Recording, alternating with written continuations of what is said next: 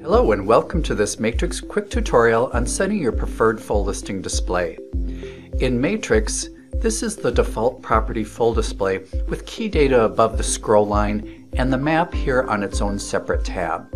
But if you prefer that this one with integrated map be your default full display, you can get that through a one-time custom setup. Let's start with some search results in the standard agent single line format. Single-click in this empty gray space on the listing ID column header to bring up this column customization pop-up. Click the Insert Column link.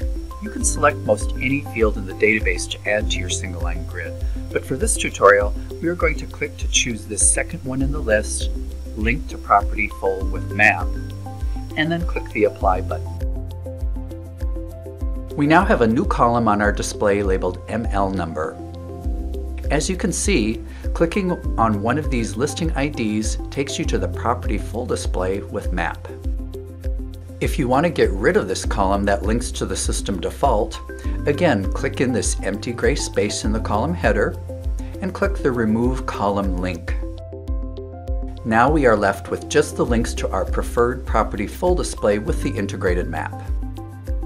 Our last step is to click this gear icon at the top and click on the top link to save this grid as our default. Make sure you see this yellow message at the top that your defaults have been set.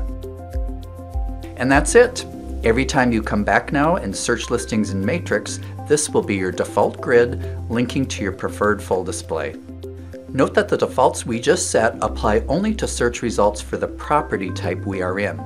If you want it for the other property types too, you will need to repeat this one-time setup for each. Thanks for watching, and if you have any questions, please contact our help desk.